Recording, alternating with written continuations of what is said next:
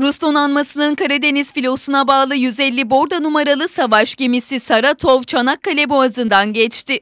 Marmara Denizi açıklarından saat 7 sıralarında Çanakkale Boğazı'na giriş yapan 150 borda numaralı savaş gemisi Saratov, 9.30 sıralarında Çanakkale önlerinde oldu. Dur yolcu yazısı ve Kilitbahir Kalesi'ni de geçerek Ege Denizi'ne doğru ilerledi. Rus savaş gemisi Saratov'a boğazı geçişi sırasında Türk sahil güvenlik botu refakat etti.